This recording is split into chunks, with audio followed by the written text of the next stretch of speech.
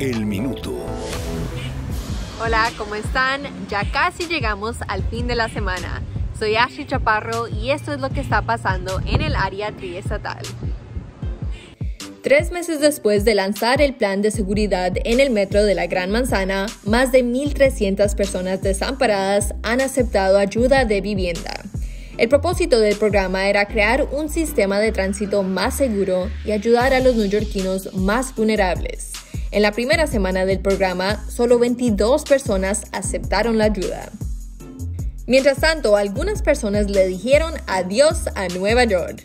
Ocho de las diez ciudades más grandes de los Estados Unidos perdieron población durante el primer año de la pandemia. Las ciudades que perdieron la mayor cantidad de ciudadanos son Nueva York, Los Ángeles y Chicago.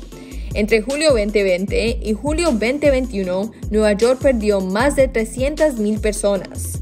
¿Has pensado en irte? Si contestaste sí, ¿a dónde irías? Déjanos saber en los comentarios.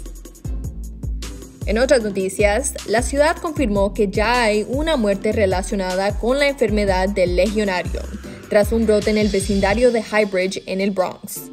Si has visitado esta área en mayo y tienes síntomas de la gripe como tos o fiebre, oficiales de salud urgen que busques atención médica de inmediato.